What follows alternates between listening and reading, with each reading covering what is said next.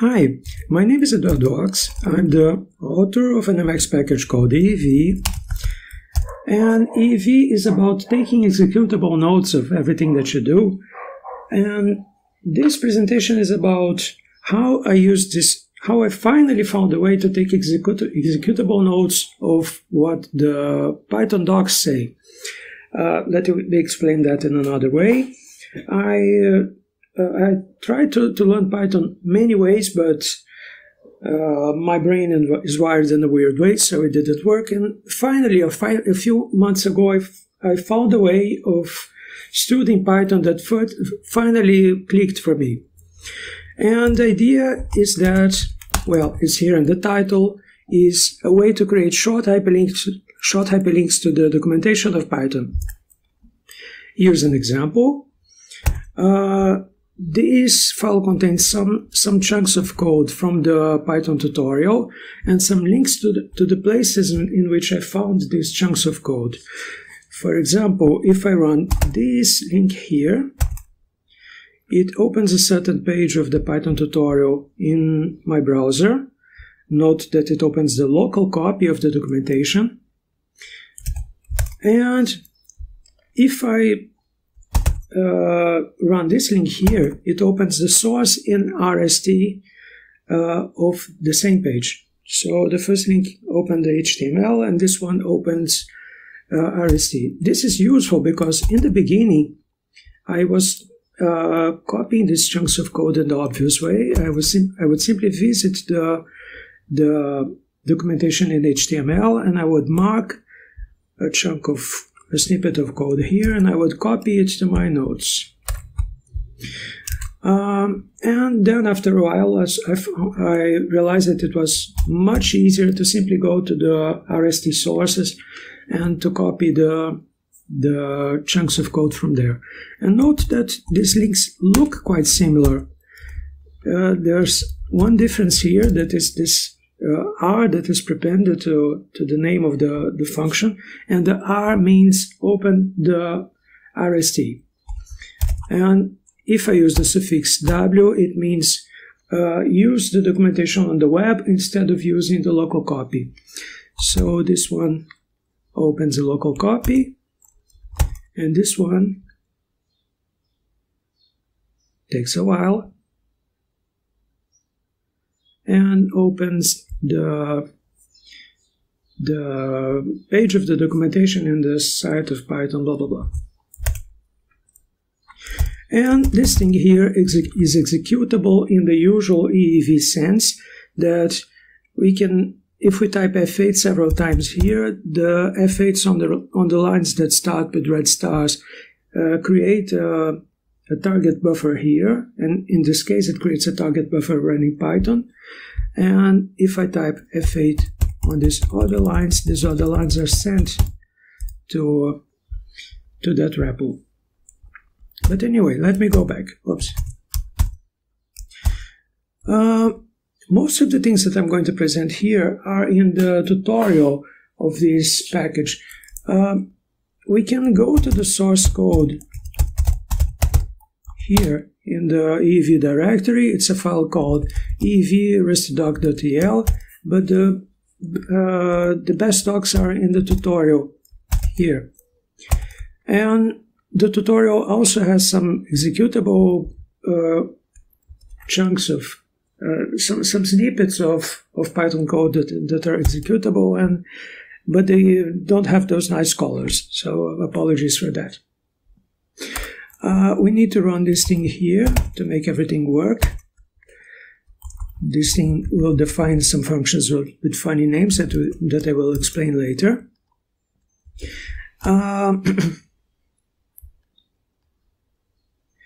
let me explain something new. Uh, let's compare all these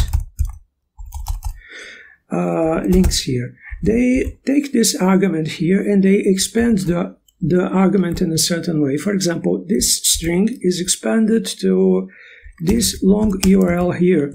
Note that it got a prefix here. That's quite long. It got uh, .html here, and then the hash and the anchor here. And each one of the functions in the family, in the PyDoc family, expands this argument in a different way. Uh, the one that that opens the doc in the in the web uses another prefix, this one, and the one that opens the RST file it ignores the part after the hash. Uh, for technical reasons, uh, I, I, was never able to, to find a good way to convert this hash into a string to search for. So I have to, to, to make something that goes to the right section in the link to the RST doc.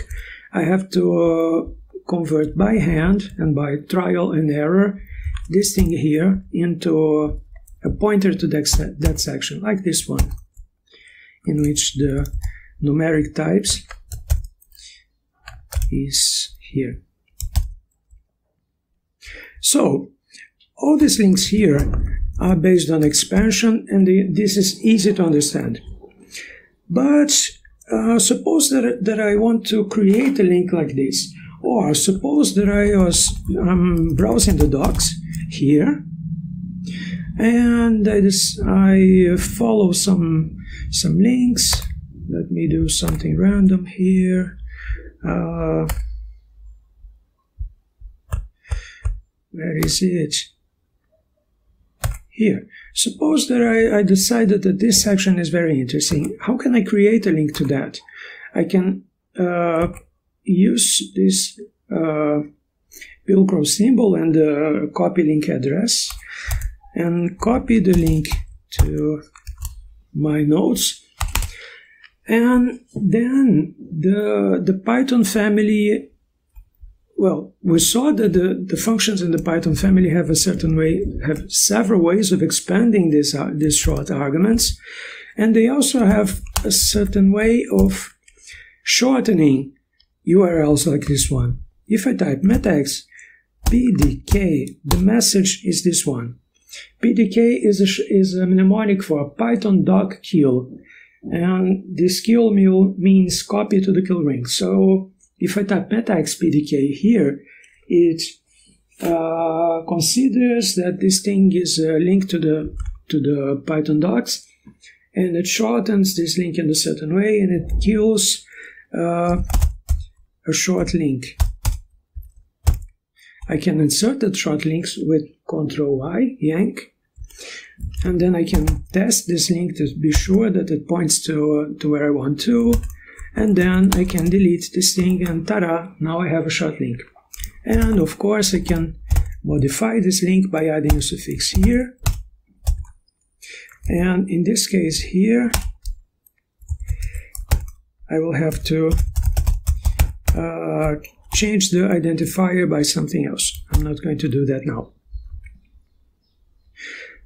Uh, this module of EEV comes with three families predefined. Uh, one is a family that points to the, the documentation of Python itself. Another one points to documentation of SymPy, that is a program for symbolic computation, for doing uh, mathematics, equations, and blah, blah. And the other one is points to the documentation of matplotlib. Uh, how do these families work? Uh, each family has to, de- to be defined in, in two parts. Uh, remember that uh, EEV has lots of families like this one. The, uh, sorry, sorry, lots of functions like this one. This one is the most basic, and it is explained here in this section of the main tutorial. And this section explains that uh, a sexp like this one produces lots of functions, uh, produces a family of functions, and it does that by producing a certain chunk of code and then executing this chunk of code. And if we add a certain prefix here, find, and if we execute this, we can, instead of executing that chunk of code, we can see what is that chunk of code. In the case of code CD, it is this, it is a setq, several defines, and some comments here with links to the documentation. Uh, in the case of RST doc, it's the same. We have this function here that defines the function in the Python family. And we can run this to understand what this code rstdoc does. It creates this temporary buffer here with lots of defuns, uh, a code CD here, and lots of comments here. And the comments include some tests. For example, we can use these functions here to test how the expansion works. Uh, and note that in this buffer here, we don't have the paths that, that this family uses.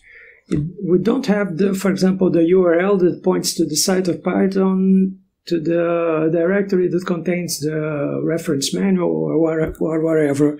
All these things are in another part of the definition of that family that is a variable. If you if we execute this, we go to the source code of the of EEV RST and to the part in which this variable is defined.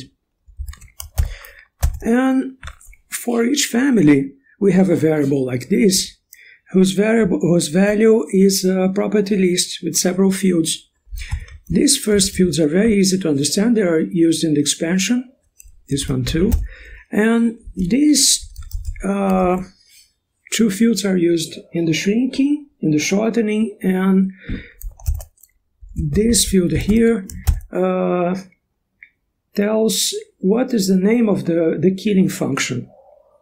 So the fields of this thing here are used to generate some fields are used to, to generate the code that appears here and some fields are simply uh, read by functions like this one that consult the variable. Now the natural question is, how can we define new families? Or how can we uh, change a family like this one to point to another version of, the, of Python? Uh, there are some template-based functions for doing that. They are ex explained in this section of the tutorial. Where is that? Oh god, it's far away. Here. Uh, suppose that we have a package foo that we want to create the uh, family that points to to the dots of that package foo. So if we, we can execute this thing here and it generates this this thing from a template. If we just want to modify uh, a current definition, we can run something like this. Note that the family family pi already exists. And instead of using placeholders, instead of in some of these URLs, it will use the current values of the fields. So we can also use this to modify uh, existing families. Uh, well, these are the technical details. Uh, now the natural question is, uh, why, why, do I want this? Why, why would I, uh, this doesn't make sense, any sense to me. Why should I try this? And the best answer is for most people, this way of, of using uh, executable nodes do not make any sense at all at, at first sight. So what I'm trying to do is I'm trying to write these tutorials with uh, with many examples that are very easy to run and that examine uh, data structures and functions and test things and so on. So my uh, main argument for test, for convincing people is to test this is ah uh, this is trivial to test. Simply install EEV and run this thing here and run the examples and probably where you're going to find that this this is this tutorial is fun to follow. So that's it.